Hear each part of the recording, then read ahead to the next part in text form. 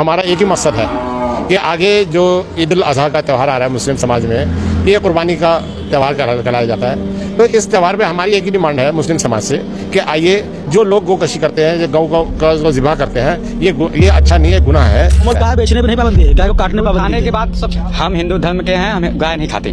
तो तुम नहीं खा रहे हो? जो खाता है उस पर पाबंदी लगा दो। क्यों नहीं पाबंदी लगाएँगे? गाय हमारी माता है। कल कोई कह दिया कि सांड तो हमारा बाप है तो ये क्या बात जो है? ये गलत है। और हमने हर एक उम्मत के लिए कुर्बानी का तरीक मुकर्र कर दिया है, ताकि जो मवेशी चौपाए अल्लाह ने उनको दिए हैं, उनके जबा करने के वक्त उन पर अल्लाह का नाम ले। सो तुम्हारा मबूद एक ही है तो उसी के फर्मा बरदार हो जाओ और आजिजी करने वालों को खुशखबरी सुना दो। और कुर्बानी के ऊंटों को भी हमने तुम्हारे लिए अल्लाह के शायर मुकर्र किया है।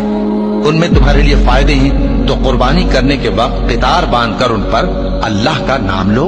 फिर जब पहलू के बल गिर पड़े तो उनमें से खाओ और कनात से बैठ रहने वालों और सवाल करने वालों को भी खिलाओ। इस तरह हमने उनको तुम्हारे जेर फरमान कर दिया है ताकि तुम शुक्र करो।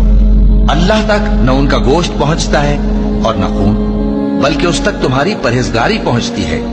इसी तरह अल्लाह ने उनको तुम्हारे जेर फरमान कर दिया है ताकि इस बात के बदले कि उसने तुमको हिदायत बख्शी है, उसे बुजुर्गी से याद करो।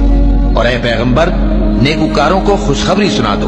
अल्लाह तो मोमिनों से उनके दुश्मनों को हटाता रहता है। बेशक अल्लाह किसी खयानत करने वाले नाशुक्रे को दोस्त नहीं रखता।